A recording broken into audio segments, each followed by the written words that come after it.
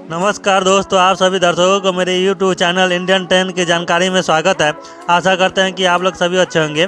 आज जो ट्रेन जानकारी है, वह पाटलिपुत्रा एक्सप्रेस। इस ट्रेन की जानकारी देने से पहले प्लीज़ मेरे चैनल को सब्सक्राइब कर लीजिए और बेल आइकन को दबा लीजिए, ताकि कोई भी लेटेस्ट वीडियो डालने पर आप लोग को नोटिफिकेशन मिल जाएगा। दोस्तों, पाटलिपुत्रा एक्सप्रेस का गाड़ी नंबर अट्ठारह है। यह गाड़ी पटना जंक्शन से हटिया के बीच में रोज़ाना चलती है। पटना जंक्शन से हटिया के बीच की दूरी 541 किलोमीटर है।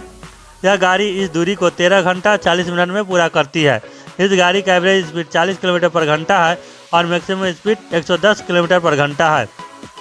यह गाड़ी पटना जंक्शन से चलकर Mokama junction, Jhajha, Jasidih junction, Chittaranjan, Dhanbad junction, Bokaro steel city, Ranchi होते हुए हटिया को जाती है।